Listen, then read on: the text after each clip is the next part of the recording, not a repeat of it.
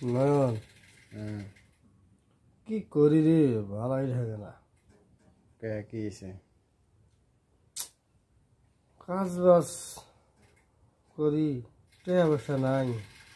হুম টাকা পয়সা না থাকলে ভালো থাকে তুই দিকে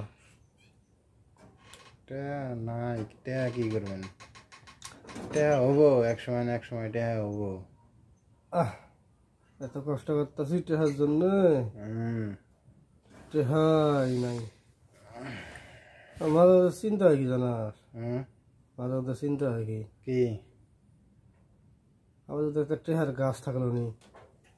কর সার তেল পানি দিয়ে হ্যাঁ ভালো মতো চাষাবাদ করলাম নি। খালি টেহা ধরলো নি। বুঝছাস? আর মনে করেন যার গাছে সার পানি বেশি দিত তার কাছে বড় বড় নোট ধরতো এক হাজার টাকার নোট পাঁচশো টাকার নোট ধরতো হ্যাঁ। এই কইতো যে আমার ফলন ভালো হয়েছে রে আমার সেই ফলন হয়েছে এইবার আমারও তো এই হয় মনে কর যে সার পানি তেল সারটা দিয়ে ভালো করে চাষাবাদ করলাম নি হ্যাঁ হ্যাঁ। খালি মনে কর যে টেহা ধরলো নি আর খালি বড় বড় পারলাম নি আর খালি খরচ করলাম? আর মনে যে সার পানি দিত না যে ভালো মতন আবাদ করতো না যত্ন করতো না হ্যাঁ খালি দুইটে আটে না চারে না ইনা ধরতো। হে কইতাম আমার ফলন এবার ভালো আমি এমন ভাবে মানে সার টার দিলাম নি যত্ন করলাম নি হ্যাঁ, আমার গাছে মনে খালি এক হাজার টাকা নোট ধরলো নি। হ্যাঁ।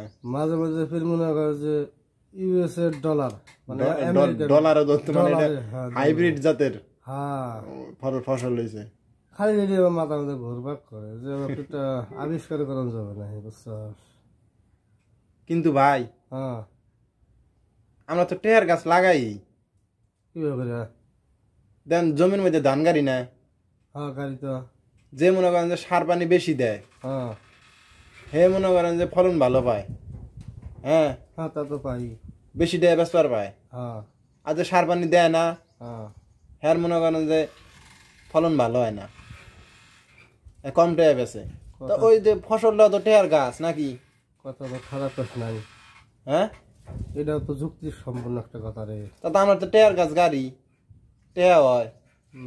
মেহনত করেন নাকি ওইটা আবার বেশি। বেশি টেয়া হয়। টেয়ার গাছ আবার কোনো না করছি আমরা? ওটার তো মনে কর মেহনতটা বেশি করেন বুঝছাস?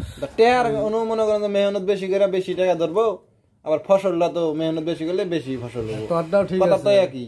টেয়ার গাছ গাড়ি না আমরা? তোরটাও ঠিক আছে। আমার ধান্দা কি জানাস? আমি ফেলে মনে মনে কই যে কাটল গাছ আছে না কাটল গাছে যেরকম করে মনে কর যে কাটলের পাতা ধরে আমার ধান্দা ওইটা যে মনে কর আবাদ করলাম নি। একটা গাছই থাক মনে কর কাটল গাছে যদি মনে কর যে পাতা ধরে উপরে যদি খালি এক হাজার টাকা নোট ধরলো নি।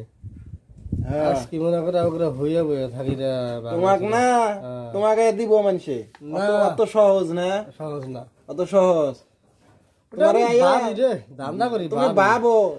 গাঞ্জা গুঞ্জা খাও আর না ভাবো না? হাগাও গাঞ্জা খায়। তাই না তো গাঞ্জা করার কথাই? ফালতু লোক। অত সহজ হলি না দুনিয়া তাহলে এতদিন টিকতো না। তোমার গাছ এনে দিব। আমি একটা ভালো যুক্তি দিলাম পছন্দ হইল না। ওটা যুক্তি ঢক হইল। ওটা যুক্তি যদি দিলি ওই যে খ্যাত নাকবো মেলা দি তাহলে দানা পাত আমার তো খ্যাতও নাই কে জমি আছে। এই জন্য করলাম ঘরের কোন একটা গাছ গাড়লাম নি। खालि फाल्तु कथा थो।